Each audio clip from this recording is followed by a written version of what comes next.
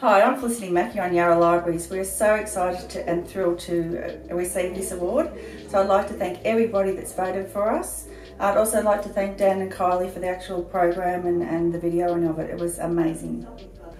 I'm Kylie, I'm the Coordinator of Community Learning and Partnerships and I'm really proud of the work that Dan's done. He's a real talent and, um, and I think the award really um, recognises his skill and talent and uh, this is a program that's very dear to our heart and it certainly brings a tear every time I watched the video and I think that is testimony to Dan's skill to capture the emotion of the program and the real difference that uh, programs like this make in people's lives. Libraries change lives and I feel like Dan really, um, by capturing the spirit of the program in his beautiful uh, little movie, um, really captures the difference that we make uh, out there in the world. So I just want to say thank you and thank you to Dan especially for the great job that he's done.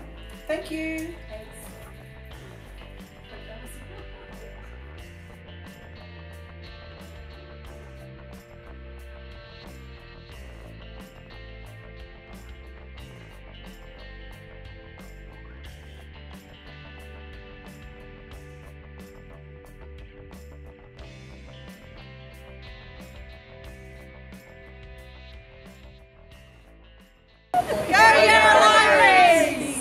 Thanks. Go Yarra Libraries!